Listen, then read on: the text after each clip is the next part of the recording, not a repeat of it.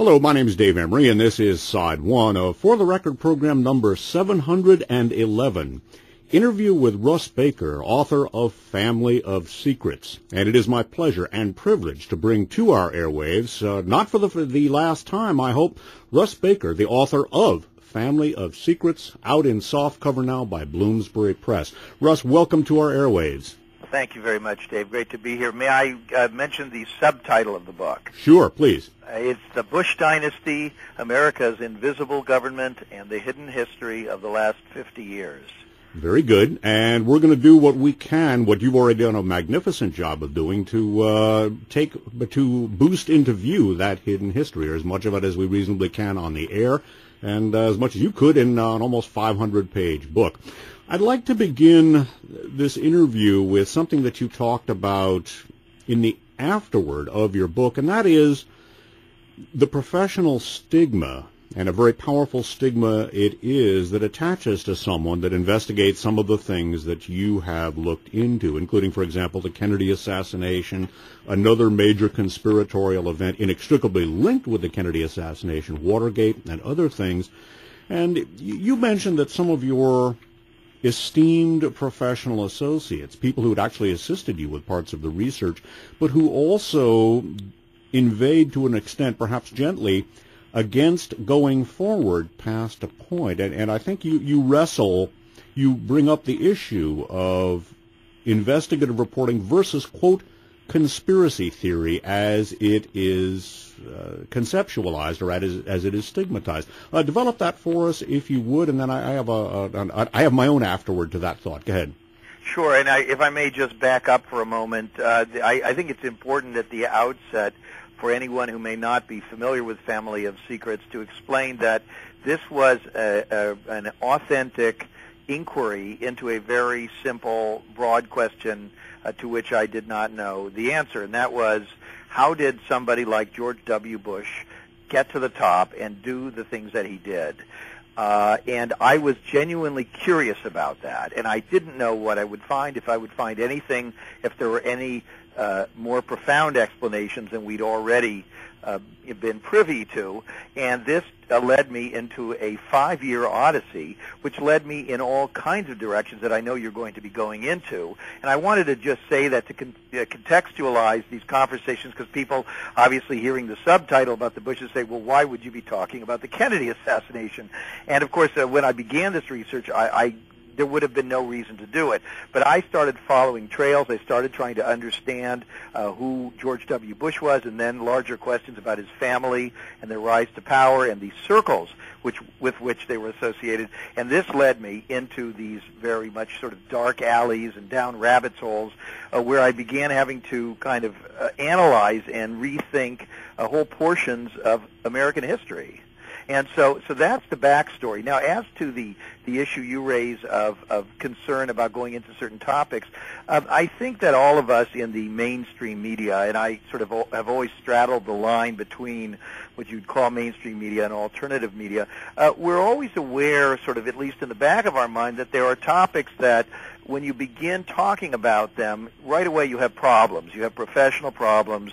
You have problems being dismissed uh, by certain, uh, let's say, critics, uh, by some portions of the public. Uh, and that really relates to this notion of whether or not there are larger causations, whether or not there are larger networks of influence and of power that shape events. Uh, and and as you, I'm sure you know, David, I know you you talk about and you look into these things. The United States has very much a notion of itself which is somewhat idealized, and that is that although we know that all these terrible things go on in the rest of the world, and although we know that even our own country has been deeply involved in many of these things, and even uh, even the sponsor of so many of them, all documented in testimony and hearings and all sorts of confessionals, we still have trouble believing that any of those kind of awful things could also take place uh, on on home ground. And that really is where, uh, when you begin exploring those possibilities, you encounter a tremendous amount of resistance and a tremendous amount of cognitive dissonance from Americans of all kinds.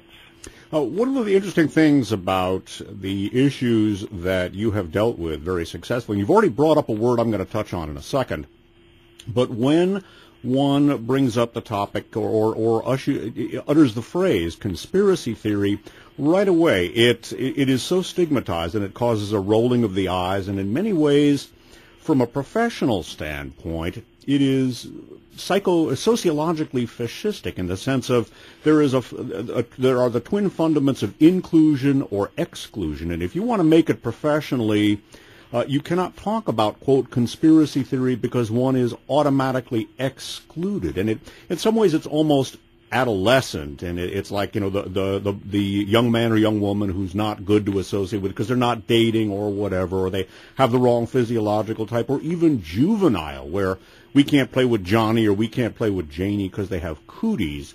And, and it's really very powerful. And I don't think that people who decline to joust with the dragon that you have slain, and I think you've done a good job, uh, I don't think they are to be faulted past a point. I, on the other hand, long ago chose to wear the scarlet letter of conspiracy theorist, and, and believe me, you know, to coin a phrase, you don't get paid and you don't get laid. so it's not a lot of fun. What you have done in a very, very good way, a remarkable way, is to illustrate what I think it is all about. If one avoids the term conspiracy theory and uses another term, which you have illustrated uh, abundantly, and that is networking, has a very different stigma to it, a very different connotation, and one that is not negative, and one that I think really goes to the substance of your book, Family of Secrets. When you talk about the, fam- the Bush family as the family of secrets, when one talks about the subtitle of your book, The Bush Dynasty, America's Invisible Government,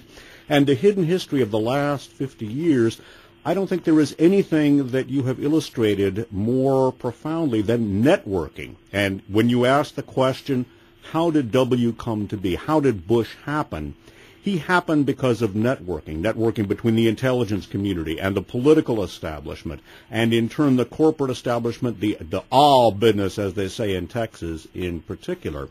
And so, uh, kudos to you, because uh, rather than uh, uh, a conspiracy theorist, I would classify you as a networking theorist, and uh, you've done a whole lot more than just theorize, and you deserve a lot of credit for it. Well, I, I actually, I mean, I, I pride myself on the fact that the bulk of my work over the quarter century that I've been doing journalism and, and particularly investigative journalism is driven almost entirely by documented facts. And, and this, I think, distinguishes my work from that of many other people. Uh, a lot of folks have trouble understanding the difference, that the, the difference between uh, opinion and, and, and conclusion and simply laying out things that are not in dispute but are, have never been laid out together or are not well known. And so with Family of Secrets, I just started encountering the most extraordinary facts. And these were things that were uh, admissions by the people themselves in little known, uh, privately uh, published memoirs. Uh, these were transcripts of conversations. They were documents that had long remained hidden and then been perhaps accidentally declassified. Uh, they were a matter of connecting dots between lots of uh, circumstances that themselves didn't seem that interesting. Uh, and so and so when you do that, what you do is you, you, you, you end up with some sort of picture begins to appear from all these dots. And that's where, when you're talking about theory of some sort, is, you know, the reader starts saying, okay, now tell me what this means, or what do you think it means? And so what I do in Family of Secrets is I, I create these narratives, and I, and I work pretty hard to try to weave it into a kind of a, a, a dramatic, uh, almost like a spy story. Somebody called it Ludlum on steroids. Uh, you know, just a very lively narrative rendition of people doing something in a plot building, but it's made up of these thousands of data points. And then every so often I stop and I say, okay, what do we have here? What do we think this means? Could it mean this? Could it mean that? It certainly seems to mean something. And I, I try very hard not to go too much beyond that and let the reader uh, come to their own conclusions. Russ Baker, in your book, Family of Secrets, again, for listeners who may have just tuned in, subtitled The Bush Dynasty, America's Invisible Government and the Hidden History of the Last 50 Years, you illustrate networks and the Bush family uh, for generations have been both uh, beneficiaries of these networks and also people who advance the causes of these networks in a fundamental way. Let's go back to the early part of the last century, Russ, and let's talk about some of the, well, what C. Wright Mills referred to as the power elite. Let's talk about the Harriman family, let's talk about the Walkers, and let's talk about the Bushes and how they began to network coming out of the Gilded Age and going into World War One. Tell us a little bit about some of these families. Uh, again, Walkers, uh, Harrimans. The Dulleses, the Rockefellers, the Morgans. Uh, you know, we know about these families. If we read books, we see there are these huge histories of these families, but most of those books don't really go into the subterranean element uh, but you know the way you start seeing it is I went back as I always do when I do this sort of research, and I did a lot of historical digging into, for example, uh, newspaper clippings, and you see who's staying at whose house, who are all together uh, uh, for dinner a, and sitting at a particular table together in Palm Beach, who are all together at, at a wedding, who are sitting on the board of directors of a particular bank and uh, a particular charity and so forth, who who are intermarrying, who are swapping blocks of stock, and so you start seeing these connections and you start understanding who knows who and who works with who. And this is really the key thing because if we examine our own lives, that's how we get things done. We meet people, we perhaps meet our, our future significant others through usually networks, meaning work networks or play networks or familial networks. That's how most of these things happen. Or other networks. Now it's uh, online dating, but that's a network. Or Facebook is a network. And so these people are the masters of networks. They were, they were networking long before the rest of us ever even thought of the concept. And so, and so the Bushes are very interesting because they're not the top of the network. They're very much the sort of the worker bees almost of the network. They're people who were comfortable but who really work as kind of officers for these titans. And so if you go all the way back, you see the Harrimans, of course, E.H. Harriman uh, being a great uh, railroad tycoon, and then he dies, uh, and his sons, who are very young, Averell and Roland Harriman, inherit this whole thing and they've got this great fortune now and they want to diversify it they go off to yale and at yale they join a secret society called skull and bones and in skull and bones is a fellow named prescott bush. Now he's from a family that is connected but is on a lower level. His his father was uh, Samuel Bush uh, was uh, in the railroad business, but at a lower level. But the father got to know Rockefellers and Harrimans and so forth, uh, manufacturing railroad equipment. And at at, uh, at the start of World War One, uh, Samuel Bush, so you're talking about the great grandfather of W, uh, was appointed through his more powerful friends to be in charge of small arms procurement for the war effort, uh, then a lot of that business went to companies like Remington Arms, which were again owned by uh, big blocks of stock owned by people like the Rockefeller family and what have you. And then uh, brothers of theirs were in the railroad business, employing Samuel and so forth. So you see this this pattern of, of them being sort of retainers, and then you see intermarriage. And so uh, Prescott Bush uh, is in Yale. He's in Skull and Bones with these Harriman sons, uh, and then they graduate, and he marries, very interesting story there, a whole separate tale. He marries uh, a man named George Herbert Walker, who is one of the largest um, financiers and bankers and investment bankers and stockbrokers uh, outside of the East Coast, outside of Wall Street. It's located in St. Louis. And this guy is is huge. Even though he's never he's almost forgotten today, he was doing business all over the world. So he marries this guy's daughter, and then the his buddies, the Harriman boys, uh, draft George Herbert Walker to move to New York and to take over the running of all of their investments. And so begins this whole new enterprise that eventually becomes the investment banking firm of Brown Brothers Harriman, an outfit with uh, interests all over the world uh, that was before that company was constituted in its final form, uh, was relying on the U.S. government and the U.S. military very much to protect their assets. Uh, the Marines would go into places like Nicaragua and what have you uh, to push out uh, uh, presidents who were not doing their bidding. And so you begin to see the outlines of this sort of interventionist policy in, uh, in the service of uh, private wealth that controls natural resources all over the world, uh, a, a situation that continues to the very present moment. There's a famous quote by General Smedley Butler, a, two, a Marine general and two-time winner of the Congressional Medal of Honor. And in fact, he was testifying before Congress and uh, about testifying about, among other things, uh, his recruitment by some of these power brokers to try to overthrow Franklin Delano Roosevelt. And he, he said basically he was a highly described himself as a highly paid gangster for various corporate interests on Wall Street, and he specifically mentioned Brown Brothers Harriman by name. And uh, Walker is a powerful family. Uh, maybe one of the only things that we see today carrying the Walker name is the Walker Cup. You mentioned that uh, George Herbert Walker was instrumental in bringing the game of golf to the United States, the uh, the preferred sport of the power elite. One of the things, by the way, we are interviewing, if you've just joined us, we're interviewing Russ Baker, the author of the remarkable book, Family of Secrets, subtitled The Bush Dynasty, America's Invisible Government and the Hidden History of the Last 50 Years. And one of the things, uh, one of the aspects of networking that you illustrate in a very compelling fashion, and that is the relationship between uh, national security matters, political matters, and again, the all business. Now, uh, the Harrimans spawned a company which will figure very prominently in uh, the investigation that you have uh, downloaded in uh, Family of Secrets and that we'll be talking about in future interviews. Uh, tell us about Brown Brothers and how they spawned Dresser Industries. Right. Well, that's a, that's a whole other story we could do a show on. But basically, uh, in a lot of cases, what they were doing was they were taking over other companies that had some kind of a monopoly.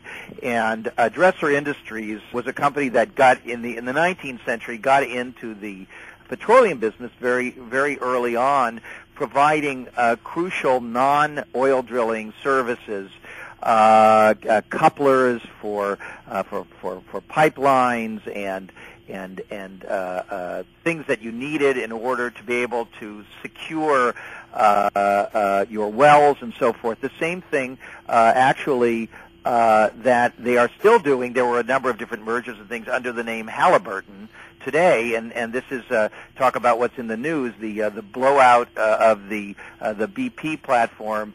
Uh, in the in the Gulf of Mexico, one of the companies in there, uh, Halliburton, and and so so Dresser uh, mer- would later on merge with several different companies, Halliburton and uh, with uh, Bra- uh, Brown and Root, uh, another very very important firm, an engineering firm that is is also known as with the, division as KBR, and they're one of the biggest uh, defense contractors in Iraq and Afghanistan. So, so what what was going on uh, a uh, hundred years ago uh, is still very much going on today.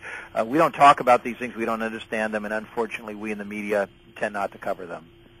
Uh, Dresser Industries uh, was a, a spin-off, so to speak, and we should we should note that Prescott Bush uh, went to work for Brown Brothers Harriman. And you mentioned that one of the Harrimans, I think it was E. Roland Harriman, uh, sort of pointed to a fellow and said, Dresser Industries, or Dresser. And uh, that was a fellow who, I don't know if one could I, I actually describe him as the godfather, perhaps not in a strict sense, but uh, maybe in, in a corporate slash generational sense, the, uh, the professional godfather of George Herbert Walker Bush, and that is a fellow named Henry Neil Mallon. Tell us a little bit about Henry Neil Mallon and Dresser Industries. Right. Well, he was another one of these uh, friends from Yale, and uh, with all of them, by the way, have these sort of murky periods in their in their resumes where they, in the case of Mallon, he purportedly went off for a while uh, climbing in the Alps. They're basically blank spots on their on their resumes, and then they resurface and suddenly appointed to these important positions. Um, uh, you know, in Mallon again, you know, the, the skull and bones tie. So he he comes back from this trip and he comes in to visit his buddies, the Harrimans and and Prescott, and according to this story, they're all sitting around deciding what to do with this Dresser Industries company that they had just bought. Uh, when they he, they spotted him, he walked in the door and immediately, as you point out, Roland said, uh, uh, you know, uh, uh, Dresser, Dresser, you know, and that this guy could run Dresser, and so they take this fellow with really. Uh, really lacking the qualifications to run that company, and he's put in charge of it. Dresser begins growing very, very rapidly, and in the build-up to uh, World War II and the uh, the conversion of the economy to a wartime economy, all of these, a lot of these manufacturing companies started gearing up to get military contracts. Dresser began gobbling up lots of these firms. Uh, and in Family of Secrets, I tell this story because this gets us into the early days of George H.W. Bush, uh, or his nickname Poppy, uh, who was the the, uh, the 41st president of the United States. Russ Baker, let me interrupt briefly. Yeah. What what is the genesis of that nickname? I know he got it, I think, at Andover, maybe Yale. I, I've never heard about the, anything about how that. Uh, No, it was it, it was because his name was the same uh, as his maternal grandfather George Herbert Walker. They called him Pop, and they and so they he also looked like him and as a child, and so the other kids started calling him Poppy. Okay, I've never heard that discussed. Go ahead. Uh, Dresser Industries and the young George, the young, the young Poppy. Yeah, and so and so he, you know, he goes off to Yale, and and and he goes into again Skull and Bones. Uh, and I just want to stop for a second to say that because, of course, we could do a whole program just on that. What are these entities? What are these secret societies? Well, you know, there's all sorts of irresponsible speculation on the internet. There are a number of pretty bad books out there that are selling extremely well that purport to offer the inside secrets. And all I can say is uh, it's enough for me that the people who joined them considered them to be important enough to join and important enough to preserve whatever secrecy they were sworn to. And, and if you flash forward to the 2004 election, you have George W. Bush, uh, also a member of Skull and Bones, the Republican nominee, the Democratic nominee, John Kerry, also a member of Skull and Bones. And you have to keep in mind that it's, it's, it's just a handful of people in there each year. Uh, and so it's a very small and select group. Uh, in, in any case, so all these guys are in this organization. Uh, they all, a lot of them, not all of them, but a lot of them seem to have familial connections to the intelligence apparatus of the United States. And by the way, that apparatus far predates the CIA because there were always spies. Every every empire uh, has spies, and uh, we had spies, you know, back in the Revolutionary War, uh, and then throughout much of the history of the country, the, the principal uh, mechanism for international spying was, well, to some extent, it was diplomats and, and private business people, uh, but it was also the Navy and naval intelligence. And if you look at the Bush family, they served in naval intelligence.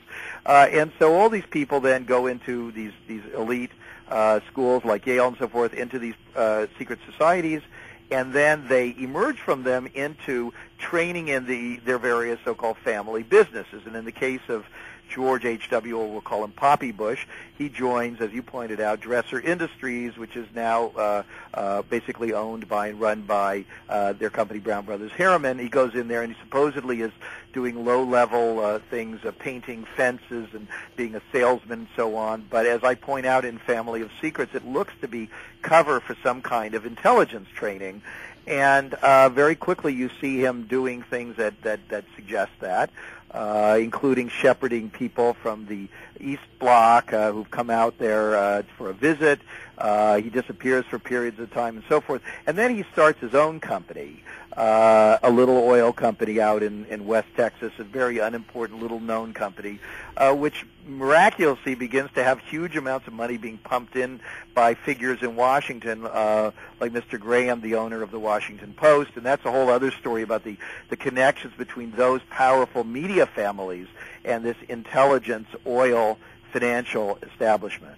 Uh, there's a book that complements yours, and in fact, you, uh, in Family of Secrets, Russ Baker, you actually uh, footnoted a couple of times. And I think for people that would not would like to gain some depth after they've bought and read Family of Secrets, uh, check out a book called The Old Boys by Burton Hersh, subtitled "The American Elite and the Origins of the CIA," because I think it not only illustrates networking, again, not conspiracy theory, but networking to a very uh, fine extent. It also shows how these networks in the intelligence community, one talks about a spy network or an espionage network, how they work in conjunction with powerful corporate elements of the American power elite. Uh, Skull and Bones, just I want to touch briefly on Skull and Bones. It has been stigmatized in some of the worst ways uh, by the conspiracy milieu. It's just one of a number of uh, power centers that the power elite, as C. Wright Mills call it, use for networking. You also have the supper clubs at uh, Princeton. Uh, the American power elite and the Bushes epitomize that in, in many ways, uh, are Episcopalian. There's a very fine book, another one people can use, called uh, The Power of Their Glory. It's by a couple of uh, authors. Their last names are Konolige, K-O-N-O-L-I-G-E. And uh, two other things very quickly. You touched on Halliburton and the fact that they absorbed Dresser Industries and that they were involved with the blowout of the oil rig in uh, the uh, Gulf of Mexico. Another company that you talk about networking with the Bushes, networking with George W. Bush, networking with Tony Blair, the Gammell family. Am I pronouncing that right? That is Brit- Gammell, uh, British Petroleum. I don't know if we'll have time to get into that, but BP is part of this networking as well. Last point, uh, a lot of people wonder about naval intelligence and why it's so important. Uh, once upon a time, uh, sail was the main vehicle for not only transportation and shipping, literally, but also communication between continents. And much of the primacy of uh, naval intelligence and the Navy in these matters stems from that. Uh, jumping back to uh, George Bush in the Navy, you mentioned that he was involved with a photo reconnaissance group, so that even when he was in the Navy, he was involved with intelligence. So highlight that for us, if you would, Russ. Right. I mean, this is the early training. In other words, uh, uh, in the uh, books, you see, Family of Secrets is, has only been even heard of by a certain select group of people because, I mean, frankly, uh, the revelations in there are, I'm, I'm afraid, a little bit too provocative for mainstream reviewers uh, for the some of the large television shows and so on. And I've been told that privately by them. They're saying, "We love you, we know your credentials, but you know, it just I got to keep my job." And and so what they do instead is they have people on there like you know Karl Rove talking about his book, uh, very mainstream historians with theirs and so on. And these mainstream accounts, for example, let's say about the life of Poppy Bush, George H. W. Bush 41 uh, is that uh, you know he as a he was one of the youngest people who enlisted you know voluntarily in World War II and became uh, you know a bomber pilot. Uh, you know, leaving out really not really looking at what he did, which was that he got into uh, intelligence work, and he was doing, as you say, the the aerial surveillance. This was uh, top secret classified work. Uh, uh, he was involved with a group of people that were connected to they were connected into uh, the operation in Asia. That's where he was uh, with General MacArthur, who had his own intelligence force, the OSS, which we think of as the prime, uh, you know, uh, military intelligence entity uh, in in World War II uh, was operating mostly, in, but not exclusively, in Europe. That MacArthur basically told them to stay out, and there was a back relationship between MacArthur again and all of these people. Uh, as I relate in Family of Secrets, uh, uh, uh, if you go far enough back, uh, uh, um, let me see if I have this right. MacArthur's father was a governor of the uh, of the basically what was then a colony, the Philippines, uh, when the United States was extracting tremendous amounts of natural resources out of that, uh, and um, uh, and and there was a request by uh, MacArthur's mother uh, to the Harrimans, would you give our son a job? Uh, and so you see these kind of networks again going all the way back, tying in again to these natural resources, and again to intelligence, and again uh, to to war making. Uh, Russ, we are almost. So let me let me jump in. We're almost out of time on this side, but we've got another half hour to go. And uh, as I figured, we were just going to barely scratch the surface of your remarkable book. Uh, the book uh, at whose author we are interviewing is Family of Secrets, subtitled The Bush Dynasty, America's Invisible Government, and the Hidden History of the Last 50 Years. The author is Russ Baker. It's now out in softcover by the Bloomsbury Press. Uh, Russ, give us your website, and then we're going to move to side two. Okay, two different websites for the book. Uh, it's called it's familyofsecrets.com. Uh, and, and we don't keep it up like we should, but we occasionally put up, but perhaps we'll put this this show up there, uh, links to uh, uh, prior interviews and so forth. And then uh, another site, whowhatwhy.com, whowhatwhy.com. That is our new nonprofit investigative reporting site where we are continuing to look into these big questions of how does power work and how do these decisions get made that affect our lives. as a nonprofit and it is uh, based entirely on uh, the financial support of the public. Want to hear more? Stay tuned for side two of For the Record program number 711, interview with Russ Baker, author of Family of Secrets. This concludes side one. We, this is being recorded on May 23rd of the year 2010 for Russ Baker. This is Dave Emory saying thanks for listening.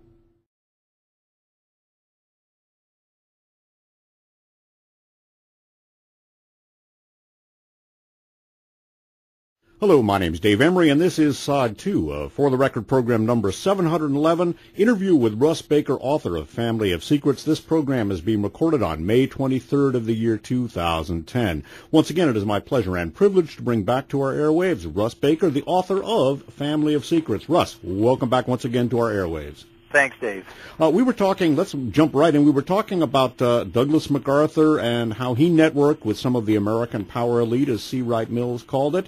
And uh, let, let's, uh, let's talk about Poppy and the Photo Reconnaissance Group and Naval Intelligence.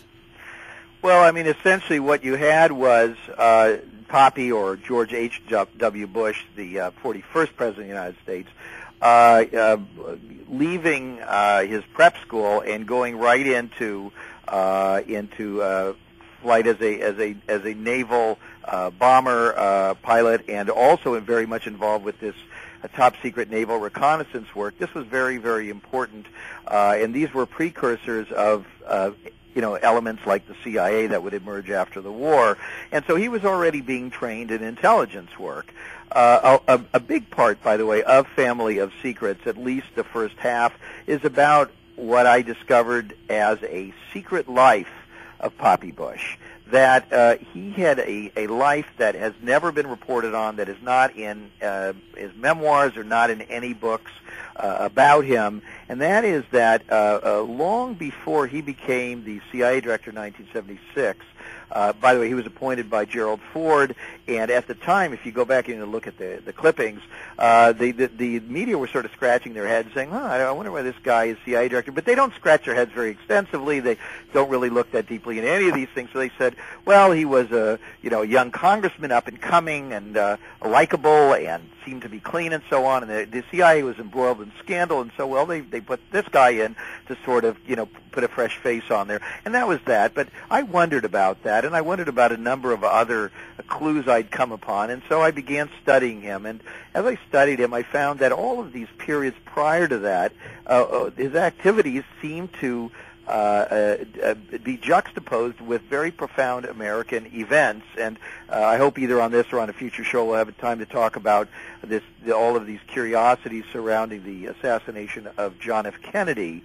But in any case, uh, you see this going all the way back to uh, his days in World War II, and then right after the war, where he begins working for uh, the family-owned Dresser Industries, where he's again doing what looks to be an intelligence type of work. He then starts his own company, uh, and as I reveal in Family of Secrets, he started uh, an offshore drilling company, a rather obscure one, with uh, quite a bit of money from uh, interested parties in Washington, and uh, with uh, the help of a man who was himself a young CIA officer who purportedly resigned from the agency in order to join Mr. Bush uh, in the offshore drilling business.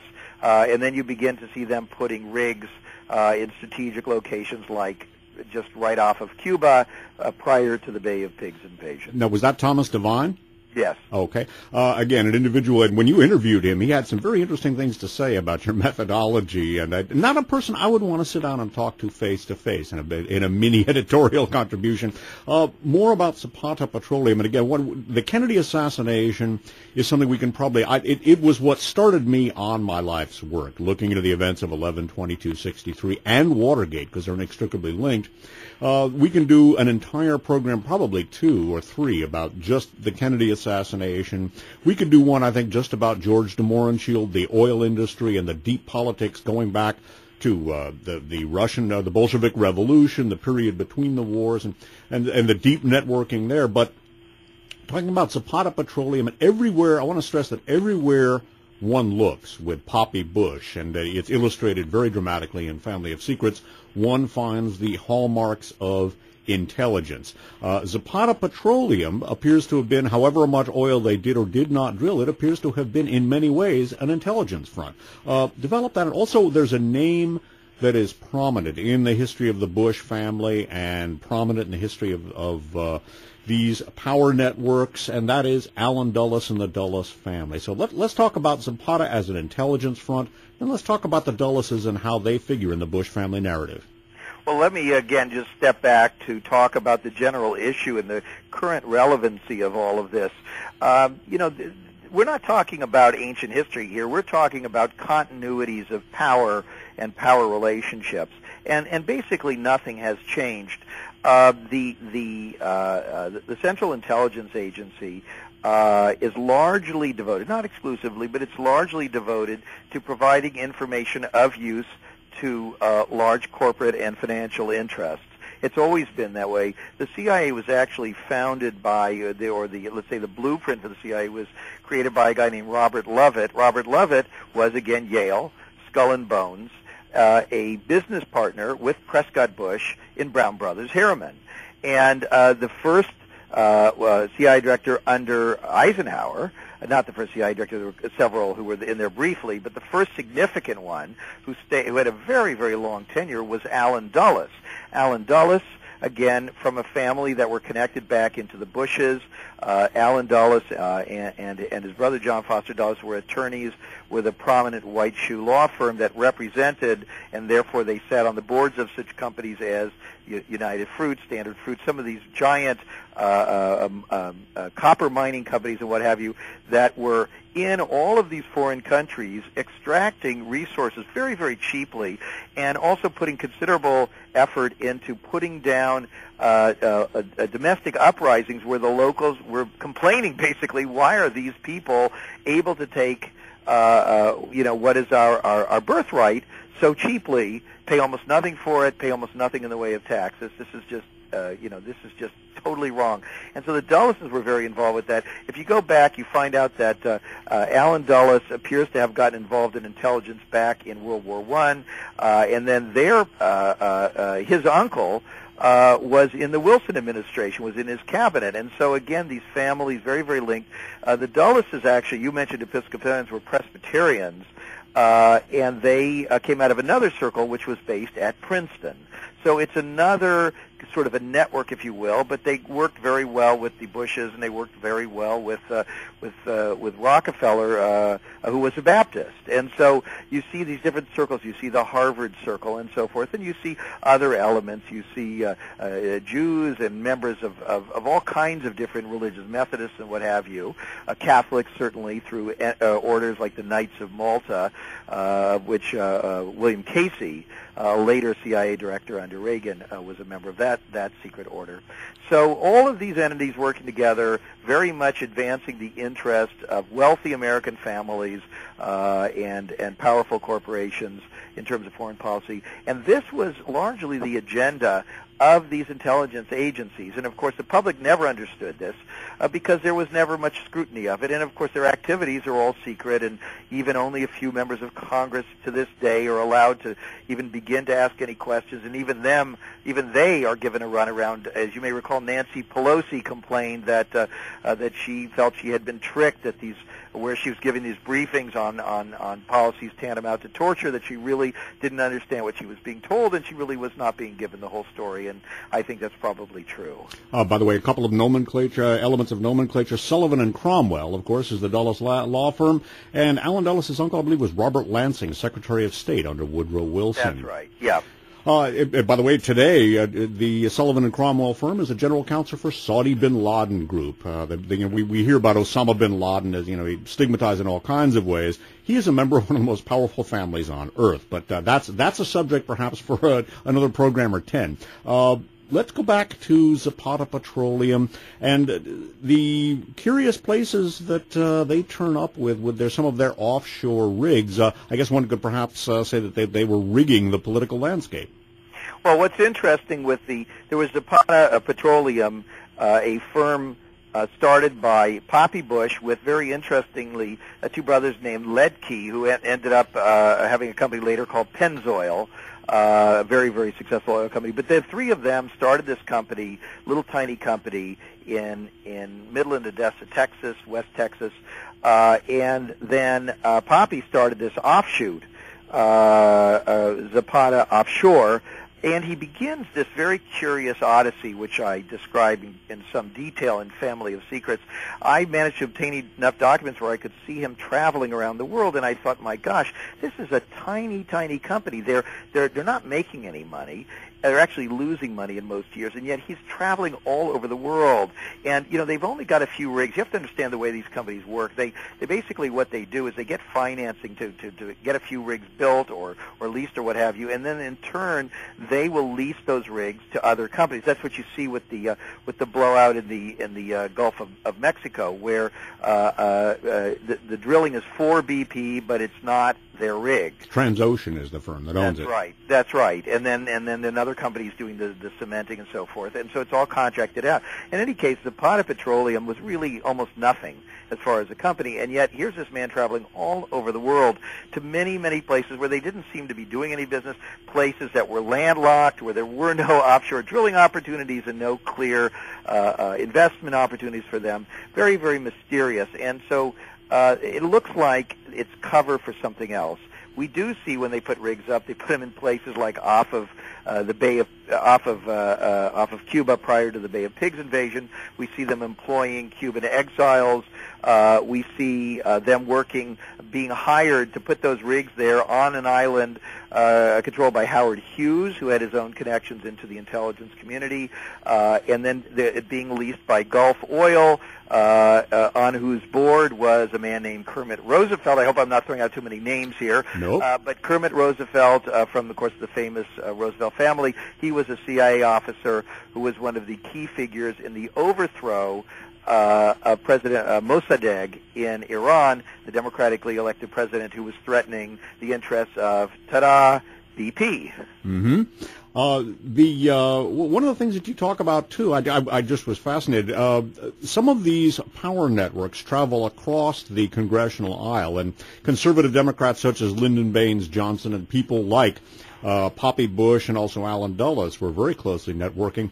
Uh, one of the fascinating details, and I posted this as a food for thought, by the way, on uh, in the news and supplemental section of my website. Uh, by the way, that's SpitfireList.com. Uh, one of the uh, fascinating details, one of many fascinating points you bring up in Family of Secrets, Russ Baker, and that is the, the town Medellin in Colombia has become very well known in recent years for the uh, epic cocaine trafficking, that in turn overlapping the Iran-Contra affair in which Poppy Bush figures.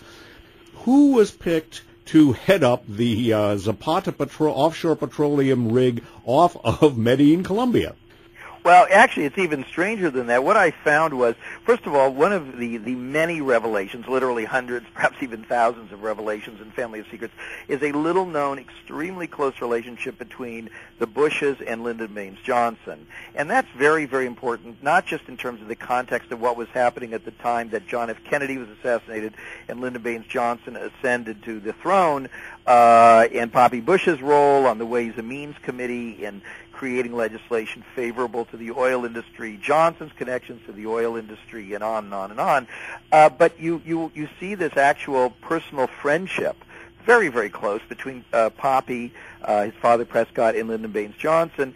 And then you see uh, that that Zapata uh, opens an office in Medellin. Now, I should point out that Medellin is not on the coast. If you look at the map, it's several hours from the coast. So it doesn't seem, you know, if you had an offshore drilling company, presumably, you know, there are there are cities right on the coast that that's where you would you would put your office. Or perhaps if you wanted to be in a big city, uh, you'd put it in the capital, Bogota. But they didn't. They put it in this peculiar place, and they they they hired a man named Manuel Bravo to run that office. Now, Manuel Bravo was a judge in a tiny county that was absolutely crucial in LBJ's uh, contested, highly contested election to the U.S. Senate. Many believe, and this has been widely written about, that LBJ basically stole that election, having some people rig it. And one of the people who uh, you, there was the issue of uh, stuffing the ballot box was Judge Manuel Bravo. And so uh, after that, you see uh, the Bushes giving him a job in this highly improbable place, in this highly improbable institution. Uh, one of the events that you link Poppy Bush to in a big way, and this we could do at least an hour, probably several, on just this aspect of your book, and that is the assassination of President Kennedy. I'd like you to, uh, in camp, again, we'll, we'll, cover most of this in a future program because we're almost halfway through this side. But uh, the George Bush of the CIA, the warning that was sent to the FBI on 11-22-63, and the question that Ted Kennedy asked at the 1988 Democratic Convention about Poppy Bush and the Iran-Contra scandal, where was George? Uh, those three points. Uh, George Bush of the CIA, Mr. Parrott, and where in fact was George H.W. Bush on 11-22-63? Well, that's quite a mouthful, and, and I developed that material in more than four chapters. Right of all new material related to the Kennedy assassination in Family of Secrets. So we can only begin to just just barely scratch the surface. Sure. Essentially, what happened was uh, just just to back way up, I, I began Family of Secrets trying to understand what the phenomenon of George W. Bush and Cheney and Rumsfeld and all this this state of sort of perpetual war in the Mid East and all these other controversial things, suspensions of civil liberties, uh, uh, a constant state of sort of terror, if you will, what this all meant and the enormous amounts of money that very, very wealthy and, and savvy Americans invested in a man of clearly somewhat limited talents they wanted him there, and I wondered why. And this this brought me to this notion of the Bush family as being seen by these extended networks as crucial sort of soldiers on their behalf. Uh, uh, W, his father Poppy, the grandfather Prescott, the great grandfather Samuel, and so on. And that was very revealing to me. And then I began uh, studying the relationship between W and his father. Poppy because W would never have become president, obviously, if his father had not already been a, a, a brand name. Uh, certainly couldn't have made it on his own. And so I began looking at the father, and the more I looked at the father, the more I found this secret history, and I found this explanation that when he was made CIA director in 76 as a neophyte, that that was a false story, that he actually was put in as part of an ongoing cover-up of what the CIA had actually been up to, and that was because he himself was CIA prior. And I lay out the evidence of that in Family of Secrets. You pointed out uh, about Zapata offshore and so forth. Uh, and so then we have him in all these years in between, in the 1960s. And what's he doing? Well, he's a private oil man, and he's getting involved in Republican Party politics. Uh, but um, I run across this odd fact, which is how he just avoids talking about the biggest event of the 60s, the biggest event certainly of 1963, the assassination of John F. Kennedy in Texas. Keep in mind that the elder Bush is a Texan at that point. Uh, he is actually running for political office in Texas, uh, a national political office. He's running for the U.S. Senate nomination from Texas, basically opposing the policies of John F. Kennedy. So when I look at his uh, diary, published diaries and memoirs, and I see that he has the most minute events and so on, and we get to November 63, and he just completely skips it altogether. And then I hear that he'd been interviewed and was asked just very, in a very benign sense, somebody asked him to recall uh, what happened when Kennedy was shot and how he felt about it, and they asked him, you know, to recall where he was and so on, and he just drew a blank. He could not remember where he was on November 22, 1963. And so that, of course, is such an astonishing thing for somebody who was probably about 40 years old at the time. And so I thought, boy, you know, what is that about? And I began trying to understand that. And this took me, Dave, no kidding, uh, parallel to my other research, four or five years of digging into the Kennedy assassination as it relates to just where was Poppy. Mm-hmm. And and so, you know, I have to say that I am not a what you would call a Kennedy assassination buff. Didn't really know a lot about it, didn't have an extensive library on the topic, didn't really have any position on it. Uh, one heard that perhaps Oswald had done it, perhaps he had done it alone, perhaps he hadn't, perhaps other people involved. There are a lot of different theories out there. But generally, uh, most professional journalists stay away from the topic because it seems to be a sort of professional quicksand. That, that's, the, that's why I went into what I went into at the beginning of the interview. Continue. Yeah, and so I, you know, stayed away from it. I just didn't see any reason to get into it. But now I, I felt compelled to answer this question. And when I began trying to answer it, I, I started coming upon bits and pieces of things. And then as I started knowing what I was looking for, it gradually grew and grew and grew until it was a torrent. And at this point, I started uh, calling friends of mine, uh, including a Pulitzer Prize winner at a at a major American newspaper, and I'd say, "Come to lunch. I need to talk to you." And I'd say, "I'm starting to get alarmed here. I'm starting to find things that are so big and so disturbing they're way beyond even the things that I, somebody who's really been, you know, very uh, tough on the system all these years, uh, that's it's too big for me.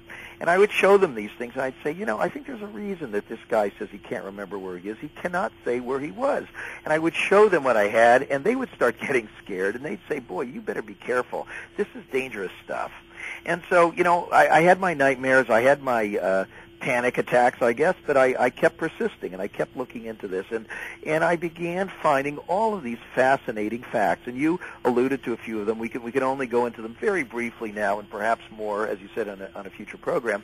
But basically, uh, you start finding out that that there were all these interesting activities on the part of Mr. Bush, on the part of a whole bunch of friends and colleagues and associates of his in the CIA, uh, in Army intelligence, oil industry figures, uh, uh, a powerful uh, uh, right-wing businessmen in Dallas. All these people were friends, and they were all connected.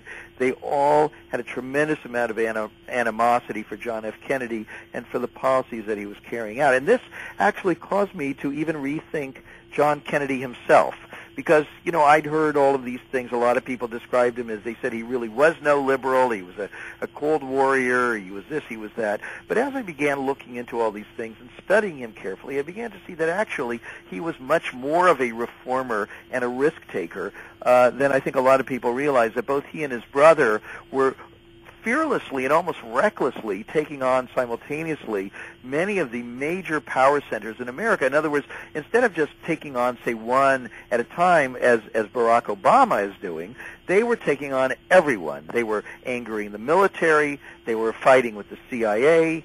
They fired Allen Dulles. They angered Prescott Bush. They uh, were not playing ball with the oil industry. They were not playing ball with a large American multinationals, uh, with mines in foreign countries. Civil rights. Civil rights. The steel industry. Uh, they were fighting with uh, J. Edgar Hoover and the FBI. Uh, organized crime. Organized crime. Uh, and this goes on and on and on. They were going after everybody. I mean, if you look at it, it sort of seems either crazy or just phenomenally courageous or both. Well, and and uh, you, you go into uh, just great length about uh, what, what Poppy Bush was doing in Dallas, Texas, on November twenty second, nineteen sixty three, and how he dissembled. Uh, Russ Baker, author of Family of Secrets, subtitled "The Bush Dynasty: America's Invisible Government and the Hidden History of the Last Fifty Years." Uh, we haven't, sadly, got fifty years left to cover this. I think we could probably do it if we could both live long enough and sustain our stamina. Uh, we've got less than eight minutes. What I'd like to do would be, and, and, and if we have to take a pass on some of these points, let's do so and table these for future interviews because because we could uh, do an awful lot of interviews, and I'd like to do many interviews in the future, uh, staggered over time. Uh, let's take some bullet points, and perhaps that's a, an advised term under the circumstances. Uh, in his book, The Ends of Power, H.R. Haldeman described the whole Bay of Pigs thing, which is what Nixon didn't want to come out in Watergate, as a code word within the Nixon White House, uh, the Kennedy assassination. Poppy Bush, the, the intelligence community, and Watergate. What do you have to say about that? Oh boy.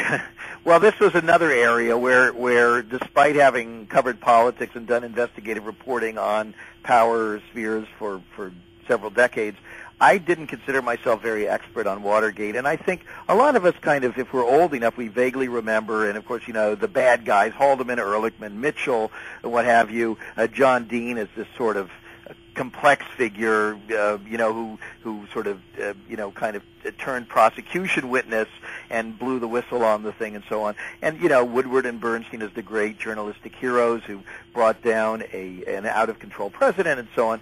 And and I got into this whole thing for Family of Secrets because now I was on the trail of George H. W. Bush, Poppy Bush or Bush 41, uh, already had established, to my satisfaction, that he appeared to be have involved in covert intelligence activities long before he was named CIA director and when he had a very different uh, titles. Uh, congressman, oilman, uh, diplomat, and so forth. And so th- I was very interested in him. And then I followed uh, his rise, his own political rise, and I was struck by the fact that Richard Nixon uh, was very much instrumental in that. And uh, I wondered why Richard Nixon went to such lengths to help Poppy Bush. And I discovered, and I, I think we should table for a future conversation, the backstory, the secret back relationship between the Bush family and their circle and the rise of Richard Nixon, the control of Richard Nixon, uh, how, how Richard Nixon was basically shaped and dominated by these elite interests throughout his political career until such time as he became president of the United States. And what I reveal in several chapters in Family of Secrets is that Nixon began trying to become independent. And yep. he, yeah. And yeah, the uh, you know we're we're down to, to uh, less than five minutes now. I want to stress that, that there is no way we can even begin to really do justice. We could spend uh, several interviews just about the Kennedy assassination, just about Watergate, or just about W. Uh, let's touch briefly on Harken Energy and how it grew out of a couple of intelligence and drug smuggling connected banks, BCCI and the uh, Nugan Hand Bank. Uh, just very briefly, if you can, and if not, we'll we'll table that for a future. Okay, uh, let me just get go as general as I can here. I mean, basically, what we're looking at is is in, uh, intelligence operations are tremendously expensive, and they largely involve moving money around, huge amounts of money, billions and billions and billions of dollars that have to be all untraceable and unaccountable, uh, used for operations, used for bribery, used for all kinds of things. And so uh, they create these front companies. There are lots and lots and lots of them, hundreds of them, thousands of them, front companies or or or, or enterprises put inside of legitimate companies for cover uh, and so um, this is crucial, little known, little examined. Um, I began looking at a company called Harken Energy, which was instrumental in the rise of George W., uh, our, our, most recent past president. Uh, this company was instrumental in uh, securing his financial future, uh, giving him some credentials, and basically taking some failing companies that he was involved with and taking them over and thereby making him appear to be a successful businessman, which was absolutely crucial uh, shortly thereafter when he began running for governor of Texas. So uh, Harken Energy was an interesting company. Um, other journalists had looked at Harken over the years, Time Magazine, the Wall Street Journal, and so on. And They all concluded that this was a very, very strange outfit because the the numbers didn't make any sense. And without going into too much detail, it just didn't. It seemed to exist for some purpose other than making money uh, for shareholders. And so uh, in Family of Secrets, I go. I have a whole chapter just on Harken. Go into you know who were the people involved, and uh, again, no time here, but basically they trace back to links to all of these po- international power centers. The the kleptocratic uh, uh, Philippine dictator Ferdinand Marcos, uh, the uh, very wealthy interests in South Africa that subjugated the black population, uh, the um, uh, the the uh, bloodthirsty Shah of Iran, who again stole vast amounts of money from the Iranian people, setting up the current animosities between Iran and the United States, which are seldom uh, discussed.